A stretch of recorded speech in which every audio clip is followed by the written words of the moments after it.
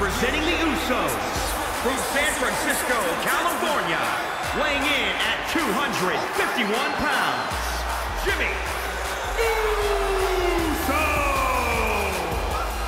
Jimmy Uso looks primed for action. How do you know that's Jimmy? That looks more like Jey. Corey, that is clearly Jimmy. I'm not so sure. What, what if he's trying to trick us? It's Jimmy. What would that game? I don't know what plan they might have. Has anybody checked into the ring for Usos lately?